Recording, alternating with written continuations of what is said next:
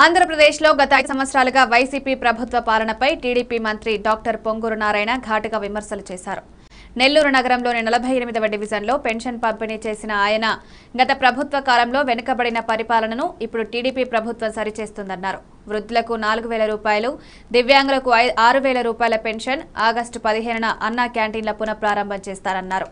గత ప్రభుత్వ అసమర్థత అప్పులు కేంద్ర నిధుల అవినీతిపై ఆయన తీవ్ర విమర్శలు చేశారు.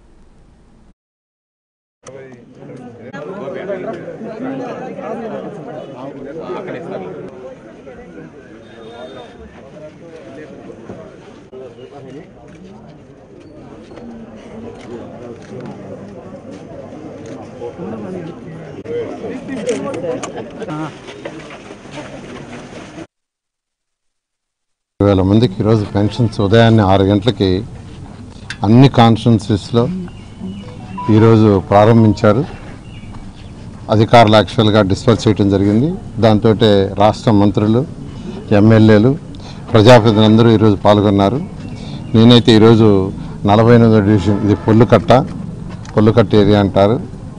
ఈ ఏరియాలో ఉదయాన్నే ఆరు గంటలకి కమిషనర్ గారితోనూ మరియు ఇక్కడ కార్పొరేటర్తోనూ మరియు ప్రజాప్రతినిధులతో ఈరోజు నేను కూడా డిస్ట్రిబ్యూషన్ స్టార్ట్ చేయడం జరిగింది.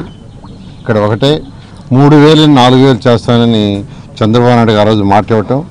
మాట ఇచ్చిన ప్రకారమే స్టార్ట్ చేసాం అంతేకాకుండా మూడు నెలలు అరియర్స్ ఇస్తానని కూడా ఎలక్షన్ ముందు చెప్పారు. అదేవిధంగా లాస్ట్ మంత్ మూడు వేలు అరియర్స్ ఇచ్చాం. అంటే నాలుగు వేలు ప్లస్ ఏడు వేలు. అసలు ఈరోజు ఈ రాష్ట్రం తీసుకుంటే ఖజానా ఖాళీ. కంప్లీట్గా ఖాళీ.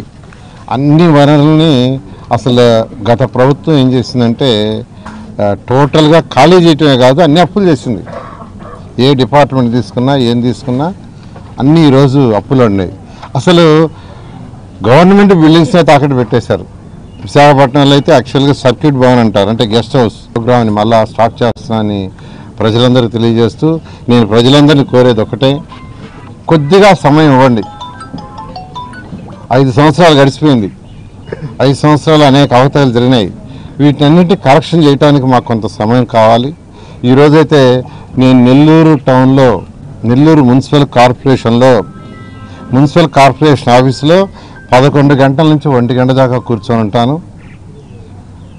State town town planning director గారు రమ్మన్నాను వాళ్ళ అసిస్టెంట్ రమ్మన్నాను.